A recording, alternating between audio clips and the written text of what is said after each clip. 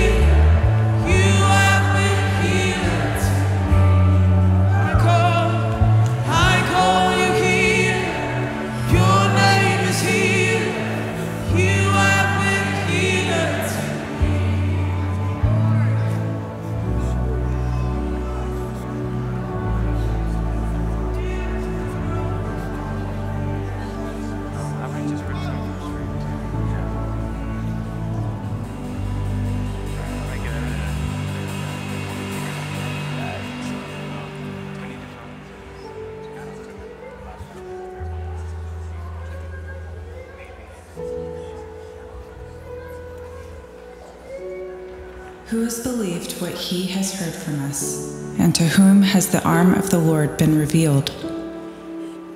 For he shall grow up before him as a tender plant, and as a root out of dry ground. He had no form or majesty that we should look at him, and no beauty that we should desire him. He is despised and rejected by men, a man of sorrows and acquainted with grief and as one from whom men hide their faces, he was despised, and we esteemed him not. Surely he has borne our griefs and carried our sorrows. Yet we esteemed him stricken, smitten by God, and afflicted. But he was pierced for our transgressions, he was crushed for our iniquities. The chastisement for our peace was upon him, and by his stripes we are healed. All we, like sheep, have gone astray. We have turned every one to his own way. And the Lord has laid on him the iniquity of us all.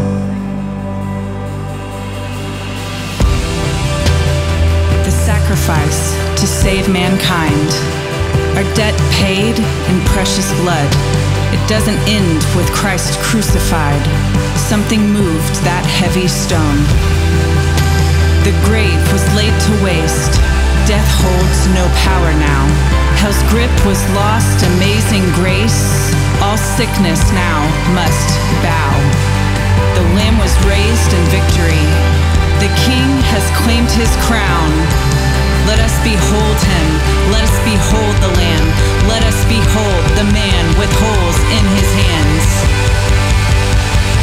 This is our Savior. Look at him. Look at him.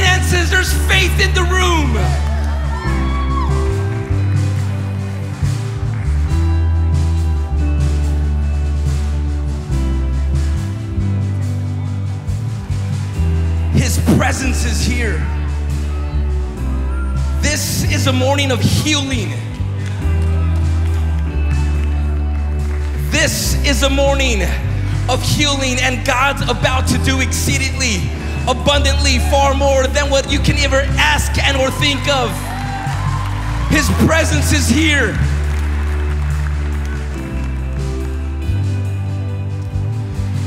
It's like this every single Sunday. Welcome to Mercy Culture Church. We want to say, hey, what's up to our online campus?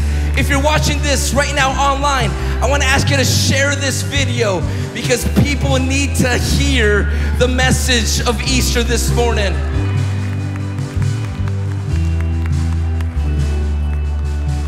We want to give a shout out to Brixen and to Patricia watching from Roswell, New Mexico. Come on, church.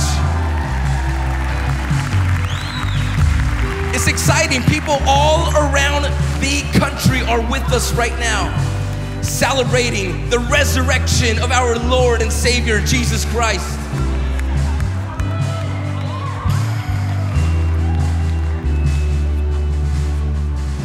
I'm passionate this morning. he has tried to sneak up on me, he's under my feet this morning. Come on. Do you believe it this morning? Come on, church. I'm believing with you. I'm believing for your family. There is faith in this room. Look at this faith comes by hearing. I want you to take 30 seconds and share a healing story with someone next to you. Share with them a story where either you've been healed or someone you know has been healed. Come on, usually we say, Hi, not today. We're gonna release healing and faith this morning. Turn to someone around you and share a story 30 seconds about your healing or someone you know has been healed, whether it's a marriage, physical healing, financial healing. We are releasing faith this morning. Come on, healing's in the room.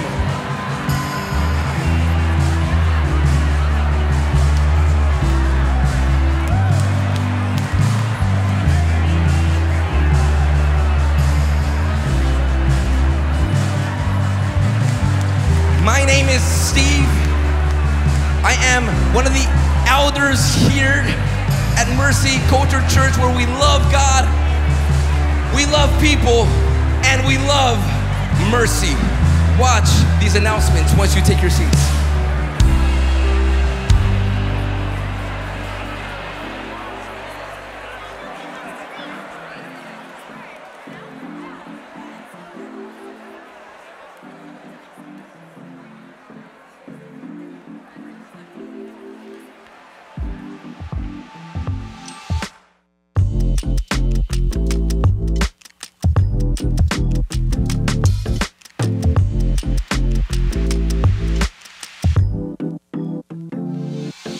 Welcome to Mercy Culture. I'm Dario, and I serve on the Axel team. Our vision is to take people from corporate encounters with God to daily personal encounters with God. If this is your first time with us, we can't wait to meet you. Text the word new to 817 835 9090 so we can get to know you. For everyone who texts the word new, $10 will be donated to the Justice Reform. So just by visiting today, you are partnering with an organization that is answering the cry for justice by bringing reformation from city to city. If you'd like to learn more about our culture, how to connect with God, get plugged into community, and begin your journey encountering God daily, MC Connect is your next step. Through MC Connect, you will learn more about what it means to become a member and enter into the covering of Mercy Culture Church. To begin, text Connect to 817 835 9090 or visit mercyculture.com. Here at Mercy Culture, we honor God by giving our first and our best through tithes and offerings. There are three ways you can give. Online at mercyculture.com slash give, text give to 817-835-9090, or for physical offerings, you can use the boxes on your way out or send it by mail. Tonight is the launch of our Spanish campus. If you would like to be part of our Spanish community, come join us tonight at 6 p.m. in person only in Fort Worth at Mercy Culture Church. To have these announcements sent to you, text news to 817-835-9090 or scan the QR code on the back of the seat in front of you. For more information and to stay connected, follow us on social media or visit us at mercyculture.com.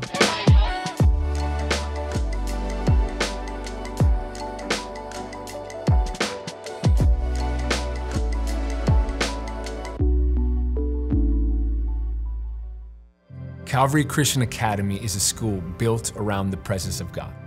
To us, spiritual development is foundational when it comes to a child's life and future. See, our team has developed a Connect with God curriculum that guides each student at the beginning of their school day to connect with God, understand His Word, and learn to hear His voice. One student who was not even a month into attending our school had a life changing encounter with God. In her class, she was having her connect with God time, enjoying God's presence. The next day, her parents shared that she received her heavenly language. She had a moment with God where one of his gifts of his spirit was awakened within her just by being in his presence. It is our heart to raise up our kids to hear God and have their own walk with Him so they can be spiritual leaders in whatever field they go into. At CCA, our priority is to teach children to hear and obey the Holy Spirit. We want students to have a strong understanding of the Word of God and to be able to apply that knowledge to their everyday life. Our curriculum teaches from a biblical worldview. We teach math, science, social studies, government, language through a biblical lens. We teach our students to understand their world and every subject matter through what the Word of God says. We want our students to be able to be equipped and prepare to take dominion to whatever field of study or ministry the Lord has called them to. You see, the world needs something more than people filling positions. The world needs sons and daughters filled with His Holy Spirit to lead in all spheres of society. We believe leaders of government, education, religion, arts and entertainment, sports and media, family, business will come out of CCA. Our school is a supernatural God encounter school.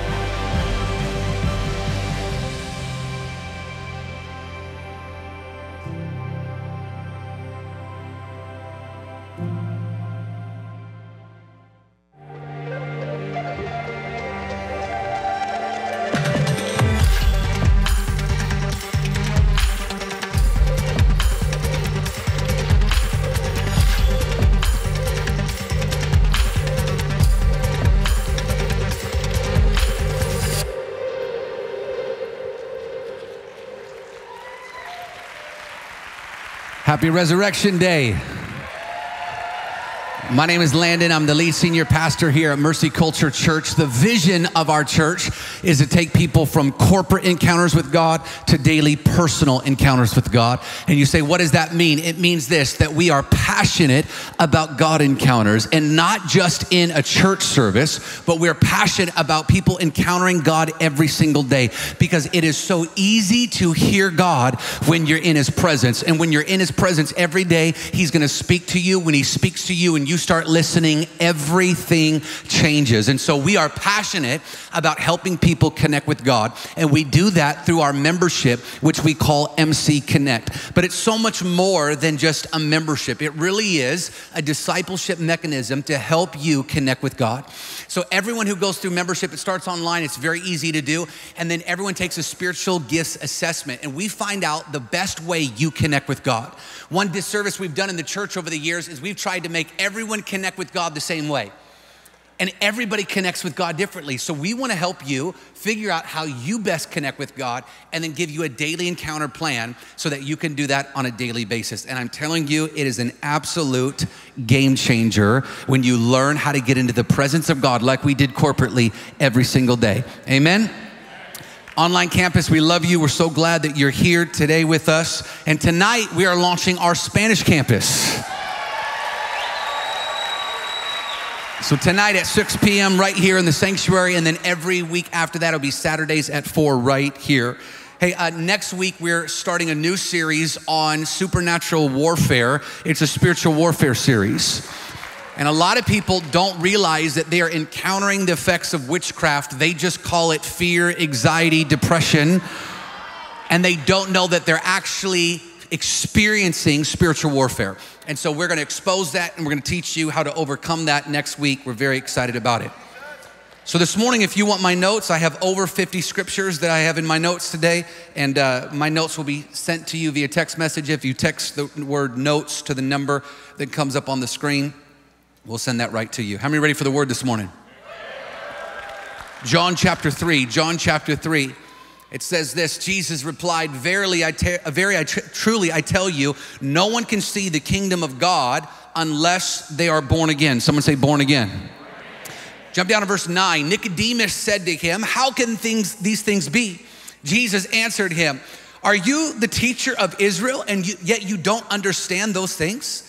Truly, truly, I say to you, we speak of what we know and bear witness to what we have seen, but you do not receive our testimony. If I have told you earthly things, you do not believe. How can you believe if I tell you heavenly things? Verse 13, no one ascended into heaven except to he who descended from heaven. So the, Son of Man. Verse 14, look at this. And Moses lifted up the serpent in the wilderness, so must the Son of Man be lifted up. Verse 15, verse 15 says, that whoever believes in him may have eternal life.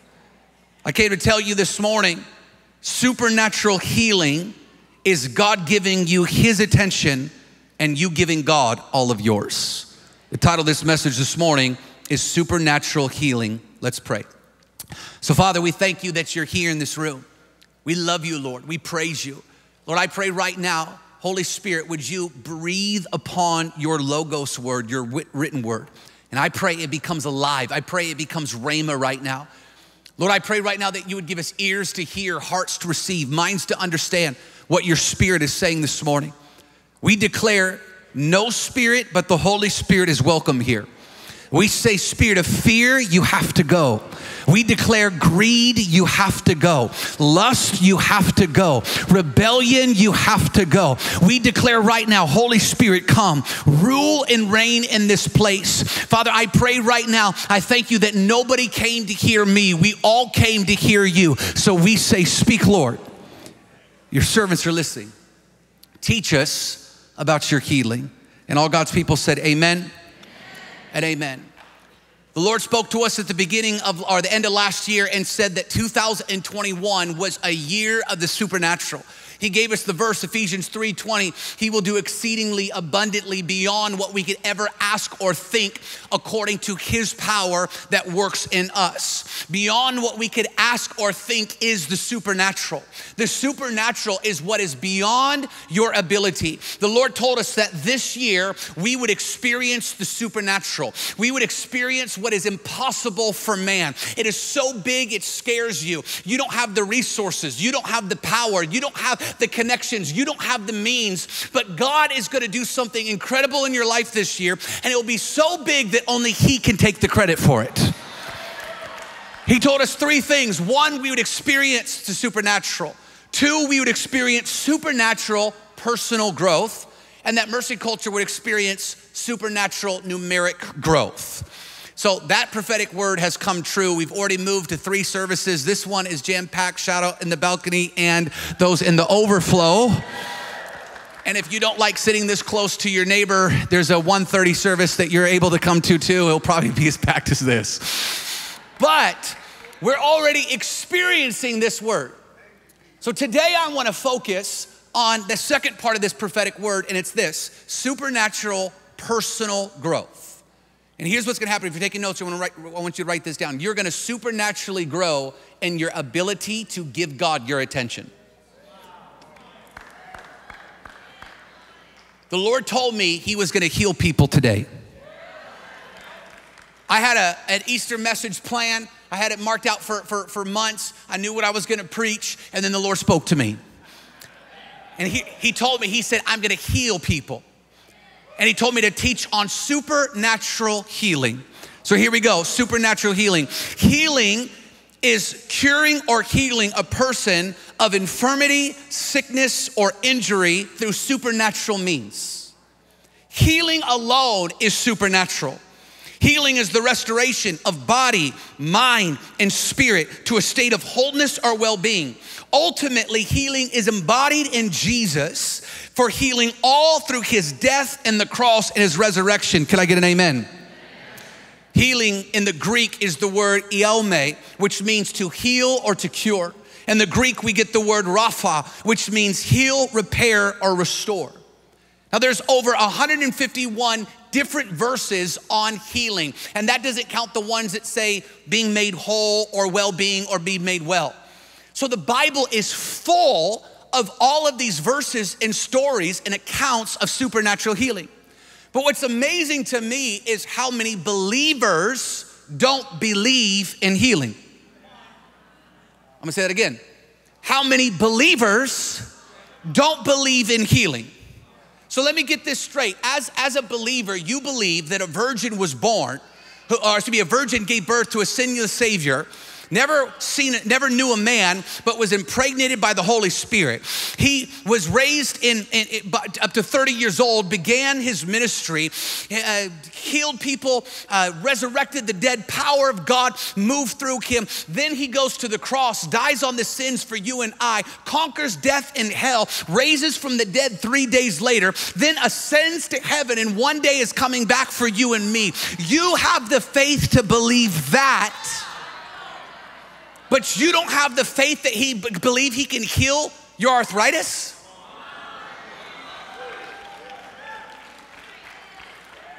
I want to show you what the Bible says about healing. Exodus chapter 15, God calls himself a healer.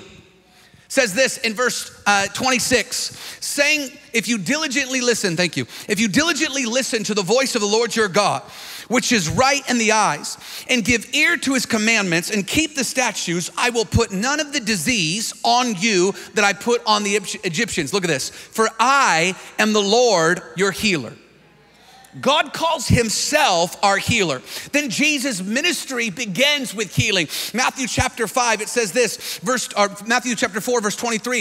It says, And Jesus went throughout Galilee teaching in the synagogues, proclaiming the gospel of the kingdom, and healing every disease. Someone say every disease.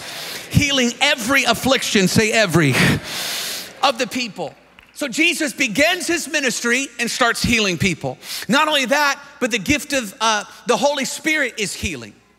1 Corinthians 12 says that there's many gifts. There's actually nine wisdom, knowledge, faith, healing, power, prophecy, speaking in tongues, interpretation of tongues, and distinguishing between the spirits. Jesus said, I'm gonna go to heaven, but don't worry, I'm gonna give you a helper. He's gonna come and bring gifts to you.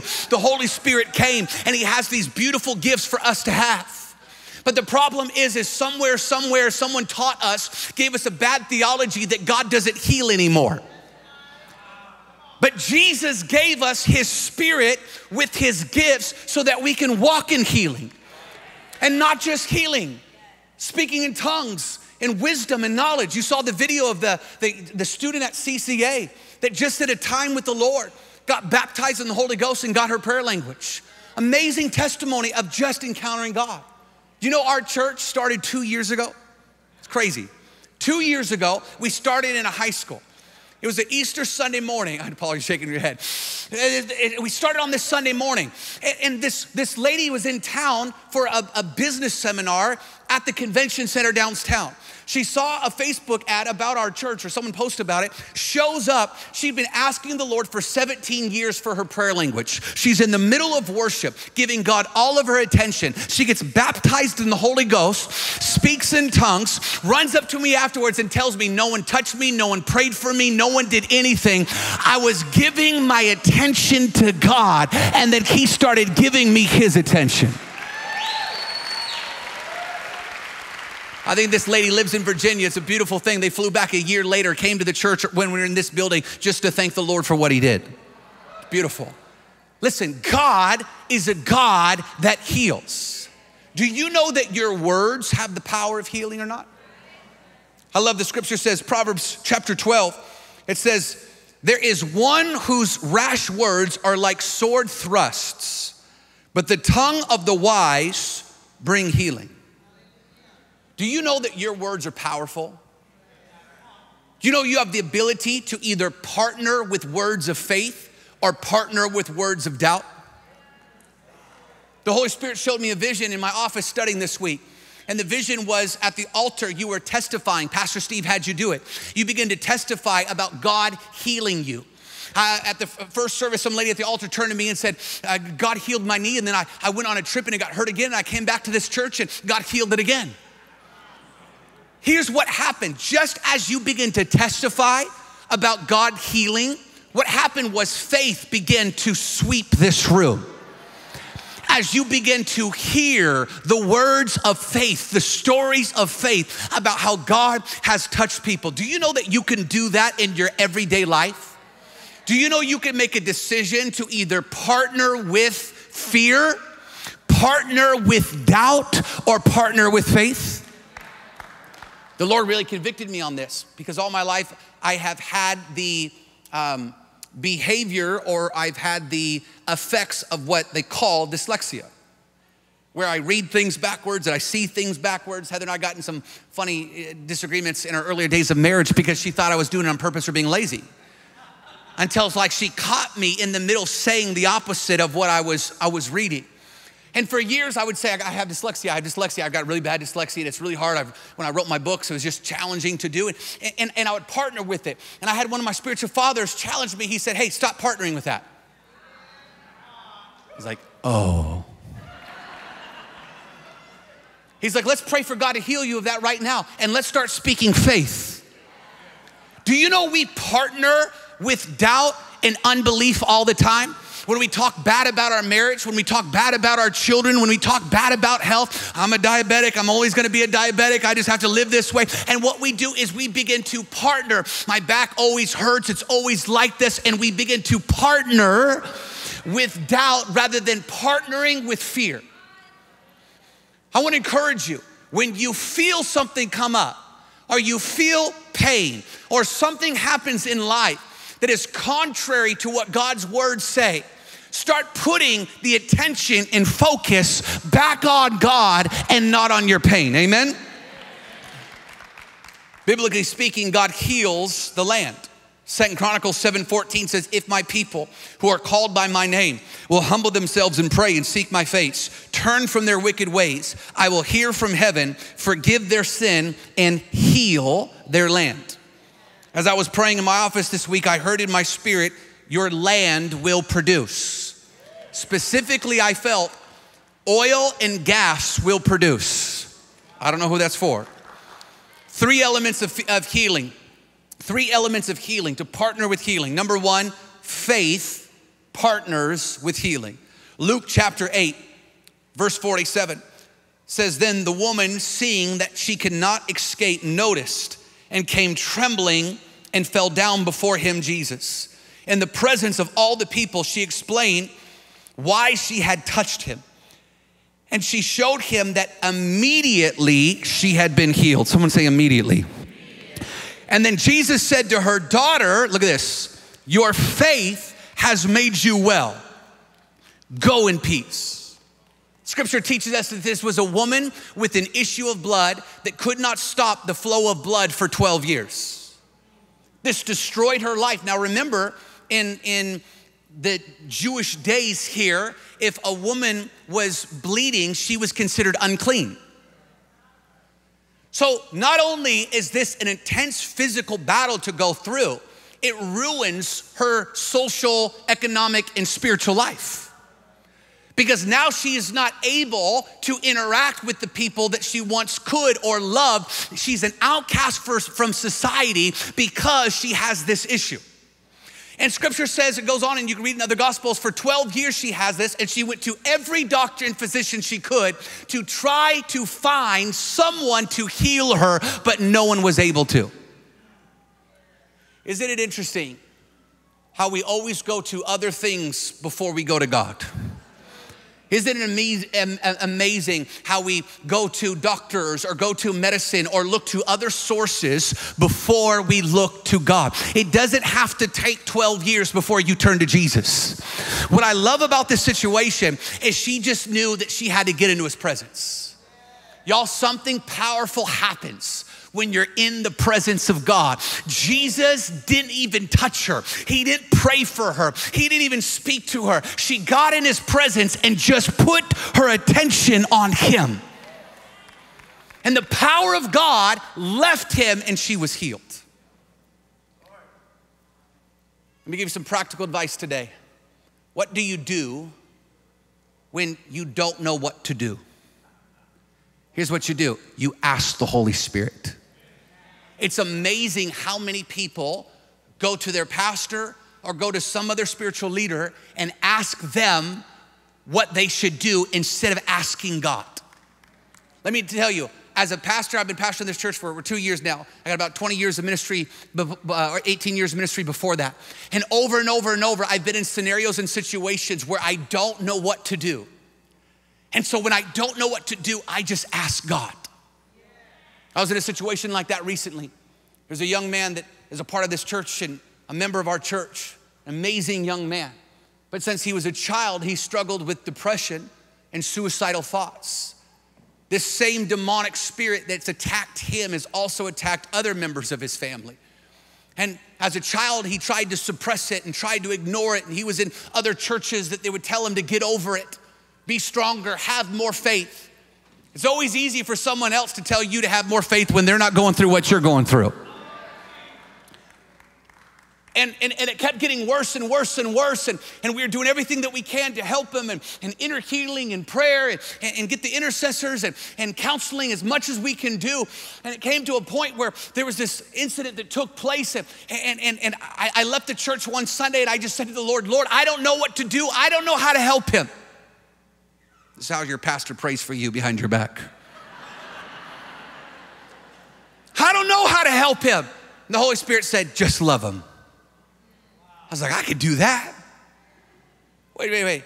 You mean I don't have to come up with the answers? You mean I don't have to have the solutions? You mean I don't have to be the smartest person in the room? You mean I don't have to be the most spiritual person on the planet? You mean the only thing I have to do is stand in faith and love him? I couldn't believe it was so simple. I was like, I can do that. A month later, he's in this sanctuary by himself worshiping. Has a God encounter. He literally tells a story. He came out of his body, saw God, saw himself. Holy Spirit came and ministered, touched to him, delivered him instantaneously in the moment. No pastors, no intercessors, no prayer team, just a young man, watch, giving his attention to God. When you don't know what to do, just ask the Lord because he always knows what to do. Number two, element of forgiveness. Second element of, of healing, forgiveness. Proverbs 4:23 says, above all else, guard your heart. For everything, or another translation says, life flows from it. Hmm. As Heather and I have traveled the nation in conferences and different events ministering to people, I cannot tell you how many times I have gone to pray for someone for healing, and as soon as I go to pray for them, I feel like I ran into a brick wall. Literally a brick wall. I mean, it's just dies right there. And the moment I felt that over and over and over, more times than I can count, the Lord has told me they need to forgive. Do you know that forgiveness releases healing? And so many people can't figure out why they're stuck where they're at spiritually. They feel like they've hit a brick wall and you can't move past this place. Why are other people getting saved and, and, and God's doing these things in their life and it feels like they're growing so fast spiritually and I feel like I'm not? I would encourage you to examine your heart and see if there's an area in your life where you have not forgiven. Here's what we say at Mercy Culture if the place that you stop forgiving is the place you stop spiritually growing. We say forgiveness isn't optional because if you're gonna follow Jesus and his teaching, forgiveness is required. Look what Matthew 18, look what Peter said to Jesus. He said, Lord, how many times was, was, must we forgive one, our, our brother who sins against us? Up to seven times? Jesus answered, I tell you, not just seven times, but 77 times. Verse 32 says this He goes on and tells the parable of the wicked and lazy servant, or the, the wicked servant that won't forgive. Says this in verse 32 Then the master summoned him and declared, You wicked servant, I forgave you of all of your debts because you begged me. Shouldn't you have had mercy, someone say mercy, on your fellow servant just as I had on you? In anger, his master turned him over to the jailers to be tortured until he should repay, repay what he owed. Verse 35 That is how my heavenly Father will treat each of you unless you forgive your brothers from your heart. Forgiveness is not optional for Christ followers. Here's where we have a hard time getting through is we say stuff like, ah, but they don't deserve it. And here's the truth neither do we. What did you do to deserve mercy? And you can't even give an answer for that because mercy actually is defined by undeserved kindness. You, on your best day, are not good enough to receive His mercy. But the beautiful thing is, on your worst day, His best day still overshadows you. Listen, there's nothing we do to earn His love and forgiveness. And it doesn't matter who has sinned against us. Like the disciples said, how many times do we have to put up with this? Now, that doesn't mean you don't have boundaries in your life. Can I get an amen? But what it does mean is we're always required to forgive. In fact, when you go through MC Connect and you get your daily discipleship plan, we teach you how to encounter God every day through the Lord's Prayer. Every single day, God's word teaches us to forgive. It says, Forgive us of our sins or our debts as we forgive our debtors or those that have sinned against us. Do you know every single day, forgiveness is what helps you enter the presence of God or will keep you from the presence of God? And that's why you stop spiritually growing where you don't forgive, is because it hinders you from coming into that intimacy or that daily encounter. Church, this is so important. And here's the thing is we're so good at tricking ourselves. Because we said a prayer one time to forgive someone, but we didn't do it in our heart. And then time goes by and we realize that we have not truly in our heart forgiven. You know, when you tell someone, hey, I think you need to forgive, and they're like, I already forgive them of that. like, sounds like it. Come on, be real. You know what I'm, what I'm talking about when, when, when you're, you know, just living life and all of a sudden you think of that person and you get angry again? And you weren't angry 10 seconds ago, but as soon as you thought of them, you're angry? Like, how do you know if you haven't forgiven? Because you're walking around tense. Now, here's the thing forgiveness is not a one time thing. So, the enemy will tell you, oh, you already did that. It's okay. Keep your hard heart and stay in bitterness. You know, there's some people that I have I've had to forgive every single day for years. And then one day I'm on the Trinity Trail praying, and all of a sudden I go to forgive them and it's gone. I'm like, where'd it go? Where'd it go? Am I okay? Something wrong with me? Where'd it go? And about a month later, it comes back. I'm like, oh, there it is, there it is, there it is. Forgive him again, forgive him again, forgive him again. Here's what you're doing. It's like David who prayed this prayer. He said, Lord, search my heart. Show me the areas that I haven't seen. Show me what I've hidden from myself. Lord, more than anything, I desire to be like you. Do you know that you are never more like Jesus than when you're forgiving? Forgiveness is so powerful, and forgiveness brings healing. Number three, oh, I, I, I was praying this week, and I heard in my spirit for somebody, call them. There's somebody that's been going back and forth about calling someone that your relationship has been strained. I heard in my spirit, call them, whoever that's for. Number three, third element of healing is repentance. James 5, it says, And the prayer of faith will save the one who is sick, and the Lord will raise him up. And if he has committed sins, he will be forgiven. Look at this. Therefore, confess your sins to one another, pray for one another that you may be healed. There's a lot of people that say stuff like, Well, my sin is between me and God. And yes, it is between you and God, but there's other people involved. And scripture tells us that when we confess our sin, it brings healing to us. We did a message on marriages a couple weeks ago, and we encouraged marriages that had things that they were hiding from each other to confess your sin to one another.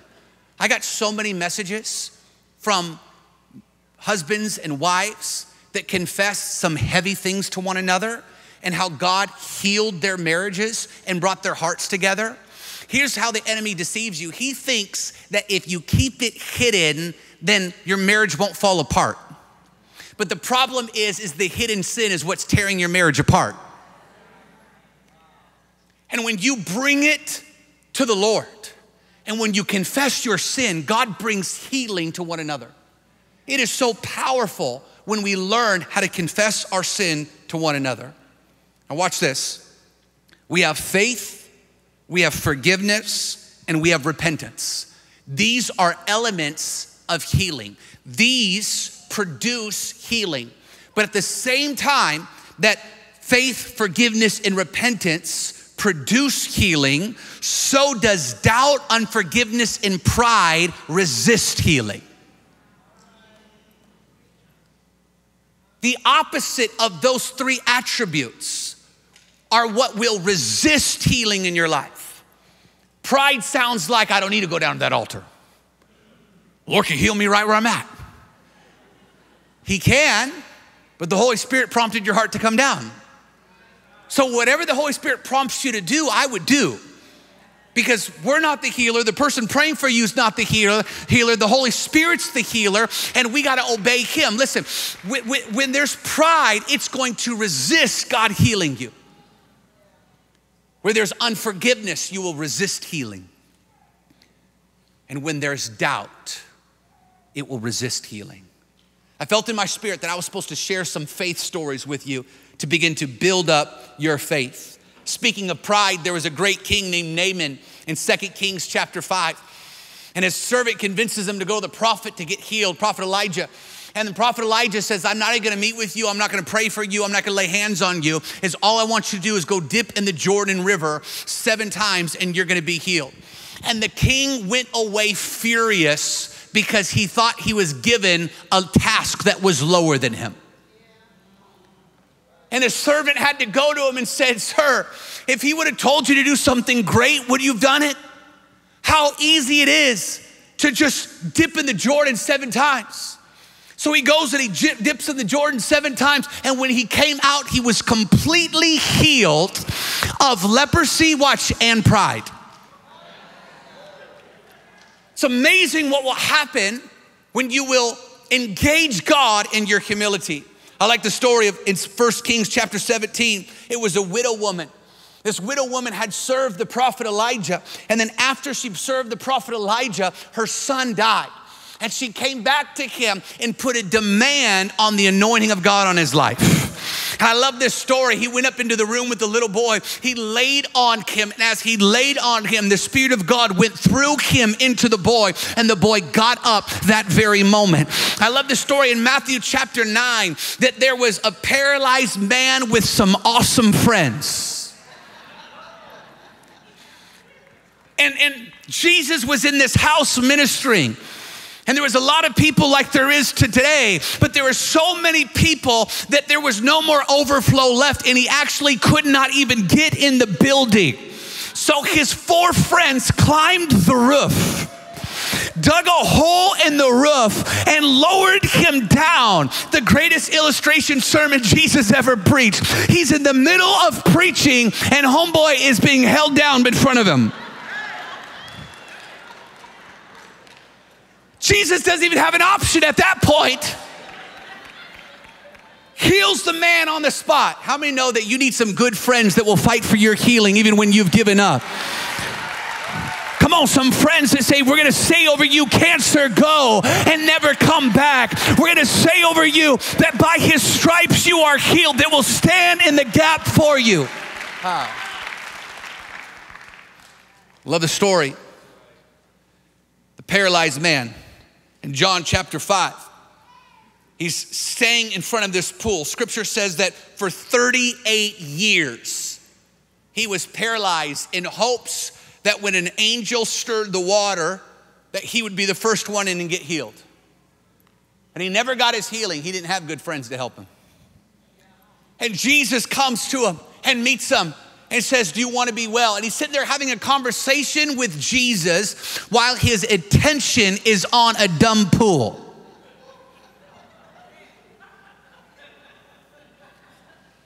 Watch what, but, but watch this spiritual fight for your attention. How many times does your attention get put on holy water or oil or this or that or this thing? And if you just had these right elements, then you can be healed when is all you need is Jesus and nothing. His attention was so on his bad theology that he has Jesus with him and he's still believing for a pool. Jesus had asked him, Do you want to get well? It's almost an insulting question. Why did he? Because he had to shake him out of his disposition. What has stolen your attention off only Jesus? Hmm. When Jesus is in the room, it's all you need. Love the story in John chapter 9. It says this Jesus spit on the ground and then he made mud with his saliva and he put it in the man's eyes and told him to go wash in the pool of Siloam. I love this story. Jesus meets a man who's blind and then spits in his face.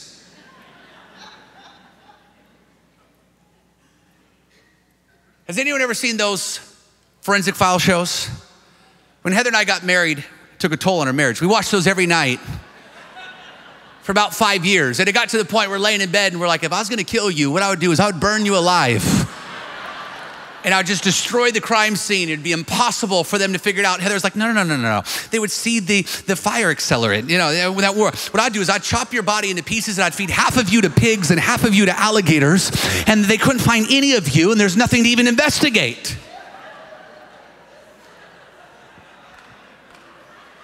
Like, babe, you're so smart.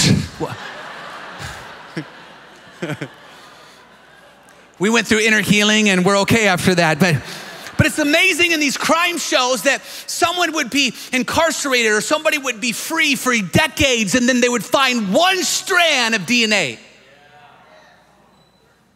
Watch this. Jesus spit and he took his DNA and he put it where the man's dysfunctional DNA was. Watch, and he took the culture of heaven and he put it into the man's dysfunctional culture. Do you know that there is no sickness in heaven? Do you know that there's no disease in heaven? There's no pain in heaven. Revelations 21 says it's free from all of that. So he takes the culture of heaven and puts it in the man's eyes. Do you know that healing is normal for God? It's amazing that everywhere Jesus went, it looks like he healed on the Sabbath. Read all throughout the Gospels, he's constantly healing on the Sabbath. And the Pharisees would get all mad and, and uh, he can't be doing that. Like, how, how could he be doing that on the Sabbath when they never healed ever? And they said, Whoa, whoa, whoa, you can't work on the Sabbath. You know why Jesus always healed on the Sabbath? Because work isn't, healing isn't work for him. Healing is easy for him. And watch this healing should be easy for us because it's not us doing it. I came to tell you today that God heals. Hmm. So, how about the question what happens if it doesn't happen? What about if I believe and it doesn't happen? Heather and I got married young, probably too young. I was 22, she was 20. If Peyton asks, we were 30 and 32.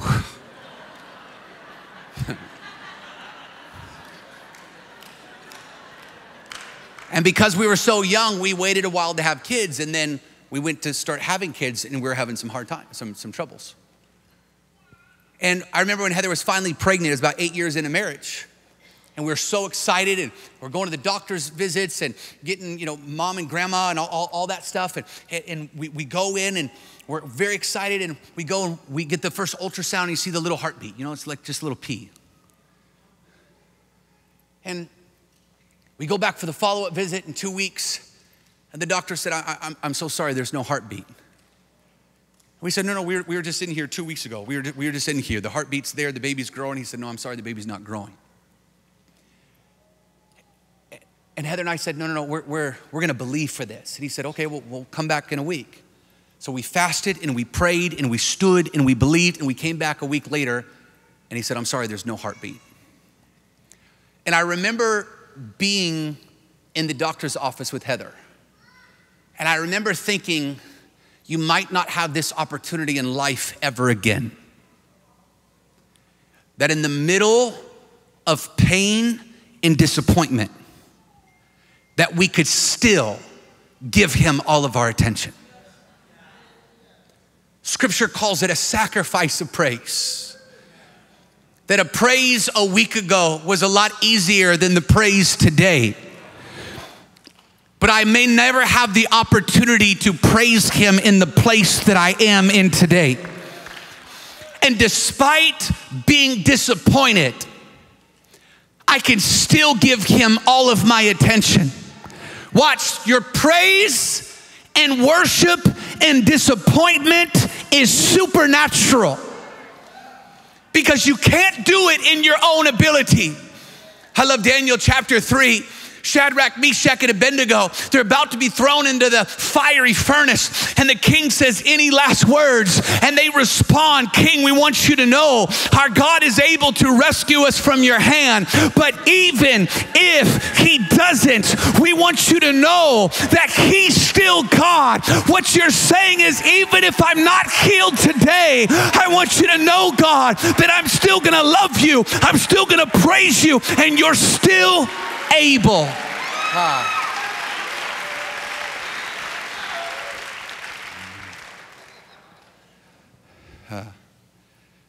The common denominator after everyone has received a healing in all the texts I just read is that after someone receives a healing, watch this, God has their attention.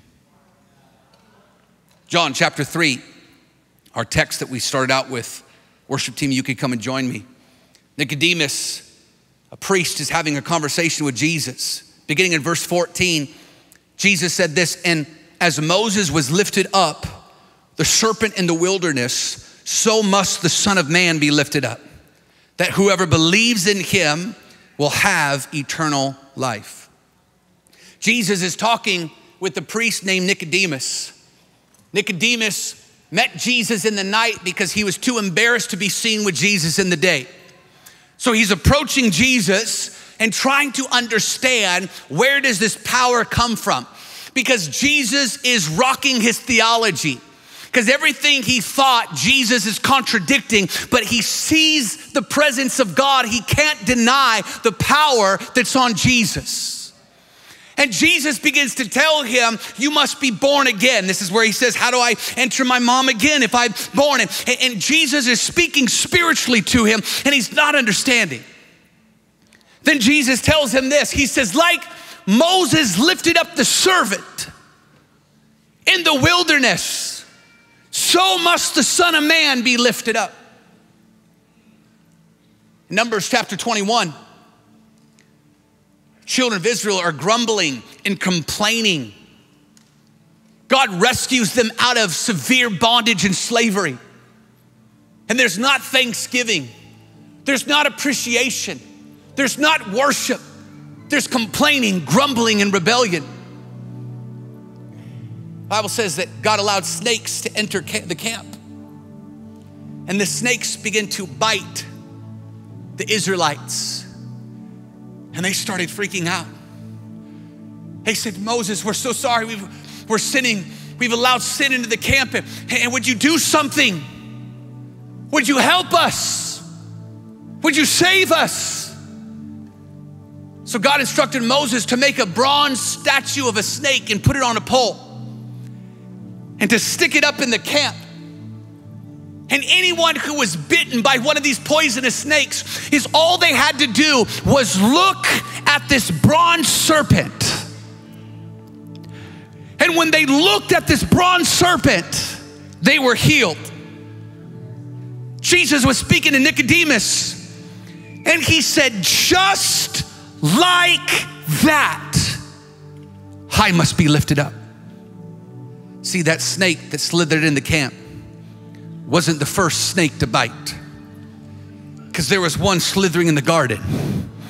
And it came and bit Adam and Eve. It came with that bite of sin, that deception of sin. It came to break the unity, the relationship between God and man. And that same sin, that same serpent has been biting man ever since. In fact, God warned us that it would continue to strike at our heel, it would continue to try to bite you. And what it does is the, the, the venom of that serpent is sin.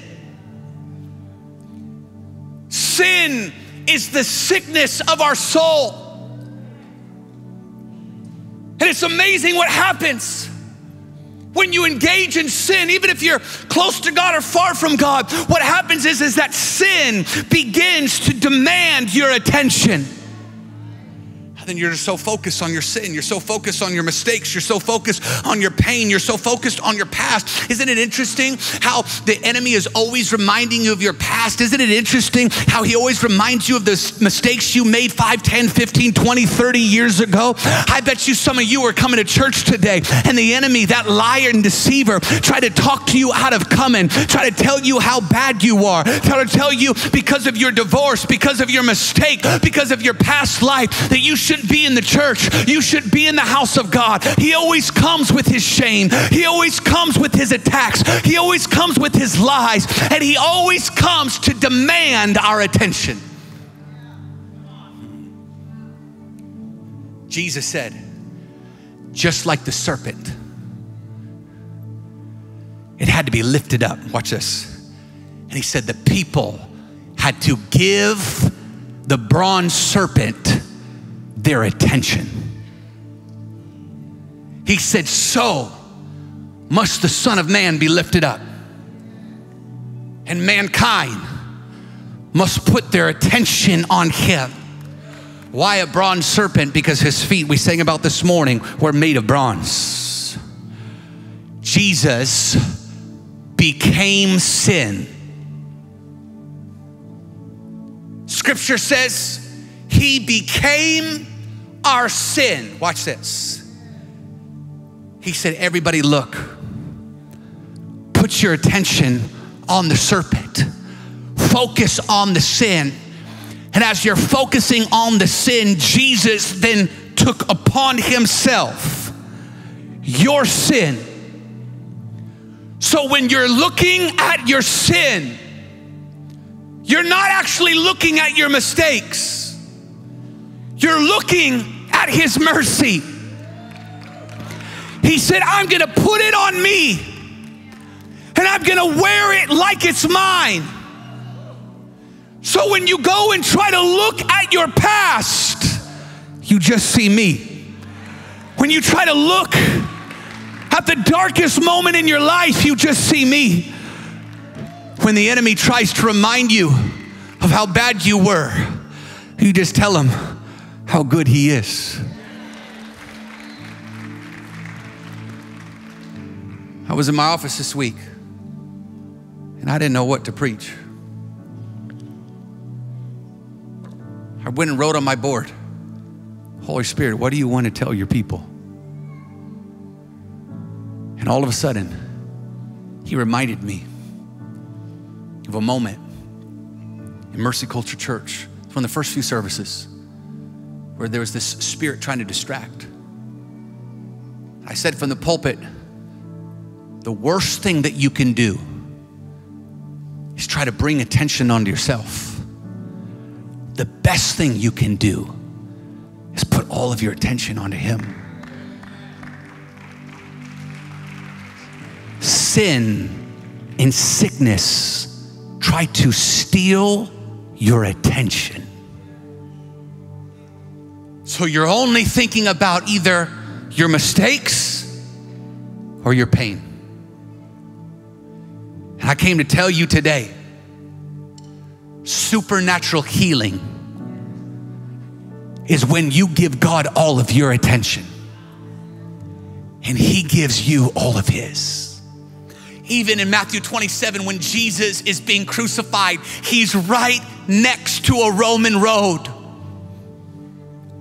And everybody who's around, all of the passerbys can see him high and lifted up. You say, How do I experience healing? You lift Jesus above your sickness. You take your attention off your sickness, your shame, your past, and your pain, and you put it on Him. Would you bow your heads and close your eyes all over this place? Sin is the sickness of the soul. And God is so loving. He's so merciful that not only does He heal our bodies, but He heals our souls. He saves our souls. Scripture says that if we believe and we confess that Jesus is Lord, we will be saved. Even a thief on the cross was able to look over and put his attention on Jesus and receive salvation. We are going to enter into the elements of healing right now. And we're going to start with repentance. With every head bowed and eye closed today, if you say, Landon, I need forgiveness of sin, the snake of sin has bit me. There's areas in my life that are not godly, that are not holy, that are not right. And I need a Savior. I need Jesus' forgiveness. I need Him to bring me back in right standing with God. Today, if you died and you don't know if you would go to heaven or hell or not, but scripture teaches us that one day all of us will spend eternity in one place. And good people don't go to heaven, saved people go to heaven. And it's only by the blood of Jesus. Jesus who conquered death and conquered hell for your sins and mine. And it's the greatest gift, it's the easiest gift, it's free. The cost is only faith.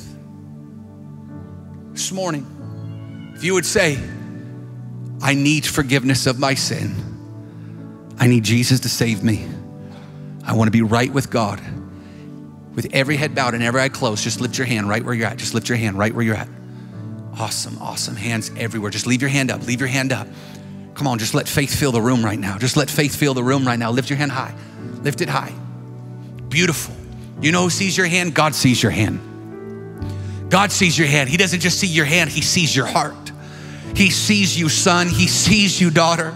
He sees you. Right now, put your attention on Him.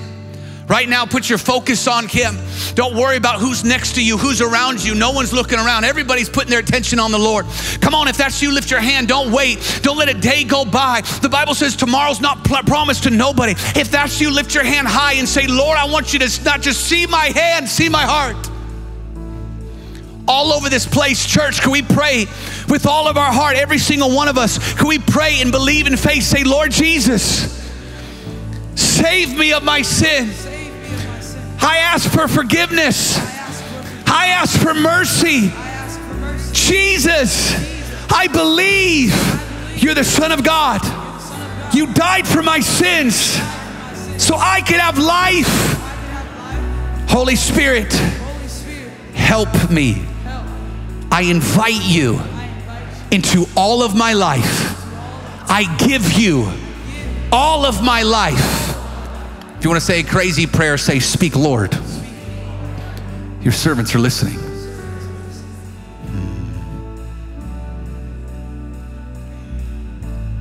Hundreds of people, come on. Next thing we're going to do is we're going to forgive. Come on, bow your head, close your eyes. This is you and the Lord right now. Who do you need to forgive? Who do you need to forgive? Who have you been withholding forgiveness? When you think of them, you cringe, you get upset, you get mad, you get angry. And I would encourage you right now no matter what, it's not that they deserve it, it's that God forgave you. Jesus died for your sins so that you could forgive in this moment. Whoever needs to forgive.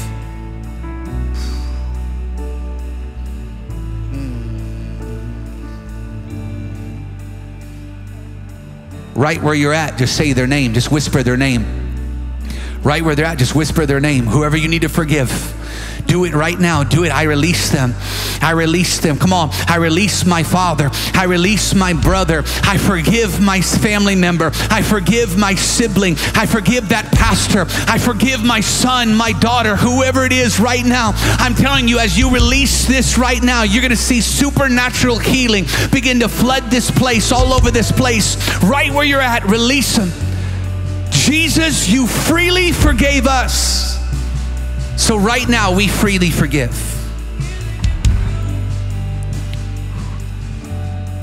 The third element is faith. And before we ask God to heal people in this room, would you stand to your feet and lift your hands all over this place? And would you just begin to give Him your attention? Would you begin to give Him your attention? Would you begin to give Him your attention right now? Come on, hands lifted as high as they can. Father, we give you all of our attention. Holy Spirit, we say, have your way in this place. Even now, even before we begin to ask Him, He's healing people right now. He's healing bodies right now. He's healing minds right now. He's healing people right now. I heard in my spirit that cancer is being healed. I heard in my spirit church hurt is being healed. I heard my spirit wombs are being healed. I heard in my spirit tormenting spirits that have tormented your mind with the spirit of death is being healed. I heard the land is being healed. Marriages are being hurt, healed. I heard you will sleep well. You will sleep well. People that haven't been able to sleep are going to be healed in the presence of God. Come on, for 30 more seconds, give them all of your attention, all of your focus. All eyes on you. All eyes are on you. Healers in the room. All eyes on you. All eyes on you. Now just ask him to heal you all over this place, whatever it is, whatever it is, ask him to heal you. Ask him out loud, out loud, so your own two ears can hear it. Just say it out loud, whatever it is, just ask him. If it's your back, if it's your kidneys, whatever it is, ask him right now. Father, would you heal me? Would you heal me? Would you heal me? Ask the healer right now. In the spirit of repentance, in the spirit right now of faith, in the spirit of forgiveness. Father, would you do what only you can do? Would you heal sons and daughters? Lord, you said you would heal today. Would you do what you said you would do? All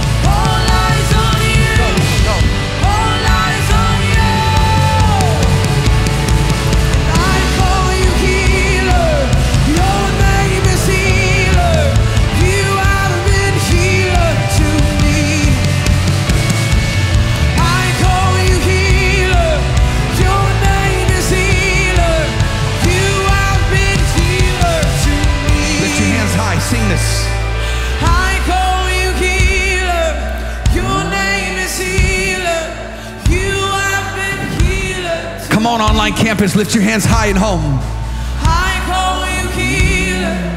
Your name is healer. You have been healer to me. One more time. I call you healer. Your name is healer. You have been healer to me. Prayer team, come down, sing one more, Jess.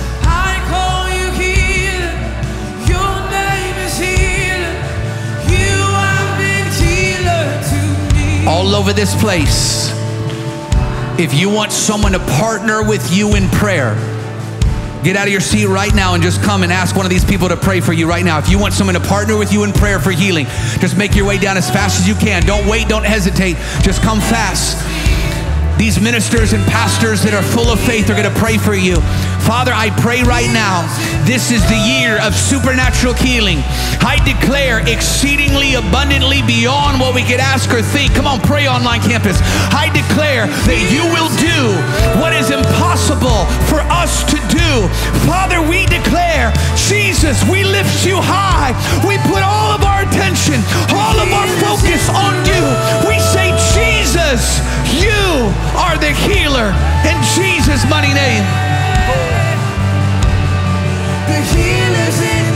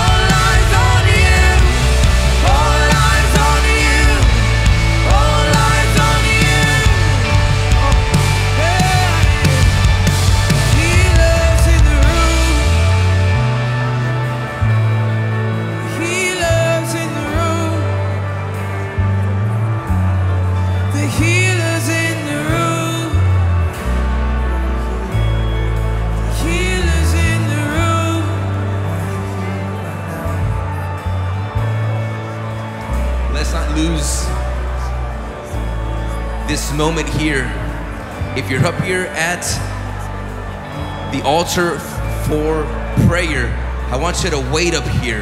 God's presence is here. We are releasing